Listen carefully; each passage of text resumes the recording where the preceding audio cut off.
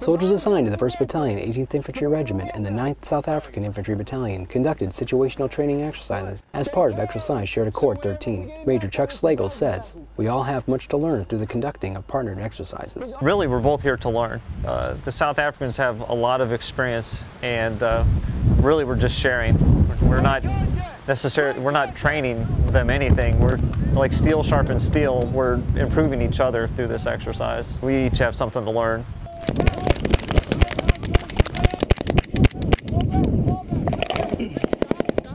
What I was happy with is to be working with the guys from another country like you guys from America.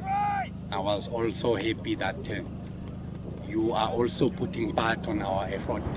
Situational training is intended to strengthen the tactical response and capability of the forces. Sergeant First Class Raymond Hodge explains one aspect he feels the South African infantry have noticed while working together with the U.S. forces. At the company level, um, I, they, they don't um, put as much of the emphasis on planning from their NCOs as, as we do, and I think that they're starting to see the value in that with, with us helping them during the planning process.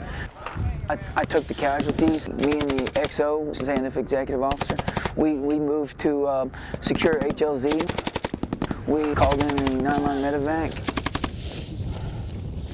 It was a really unique experience to be able to sit there and, and work with a, you know, a foreign officer like that. I talked to him after and he said that it was a unique experience for him. More than 3,000 military participants from the South African National Defense Force, alongside approximately 700 U.S. military members, will conduct military operations as part of the exercise. Reporting for Shared Accord 2013 in Grahamstown, South Africa, I'm Army Sergeant Noel Gerig.